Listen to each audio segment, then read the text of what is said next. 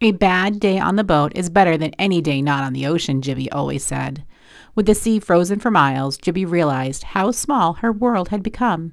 Doing the same thing day in and day out had made Jibby, well, dull. While gazing outside, she thought of the gal she used to be. She often went on adventures with the captain. They went alpine skiing when the summer sun faded and the snowflakes arrived. She thought, could I even get up on skis again? Oddly, an invitation arrived at her porthole the next sunrise.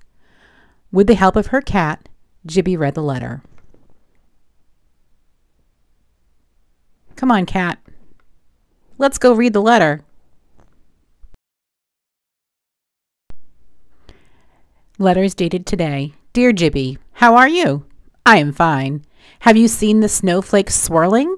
Want to go for an adventure of sorts? Your friend, the captain.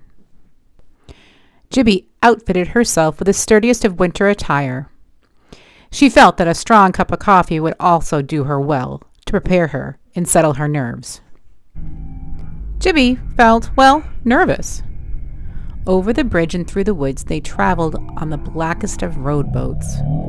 Over every wave of road, Jibby's stomach began to roll. Through every port stop, her mind raced. Can I even do this? she thought. She pictured her next deckhand uniform coming with a matching cast. With this thought, her mind ran away from her. Jibby felt, well, panicky. Around the next corner, they caught sight of land, not a cozy harbor, but a mountain of risk. As they steered closer to the top, more snow appeared. There was no outlet for this inlet other than downward. Jibby felt, well, quite terrified. What would she do? Would she be able to do this? Could she ski? She's an old deckhand now. With her street shoes stowed and her feet encased in boots of lead, she collected her new uniform for the day and set sail for the Bunny Hill.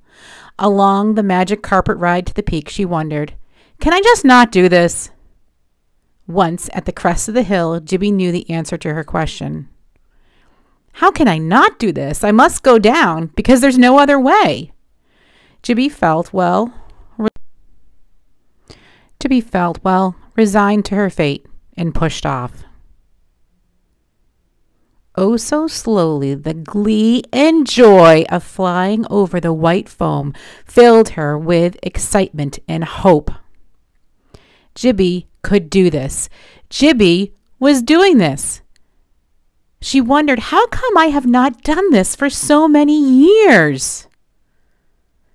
Jibby flew down and down the mountain. She flew down the slopes like a pirate, tracking her treasure. The pirate found treasures of emerald circles, sapphire squares, and black diamonds. Jibby stole memories from all and stored them in her mind's chest. Jibby did it.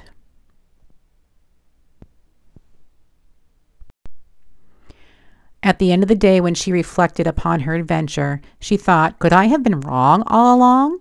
A bad day on the boat could never have beaten this day on the mountain, and Jibby felt, well, not so dull anymore. No deckhands, teachers, or cats were harmed in the filming of this. The end.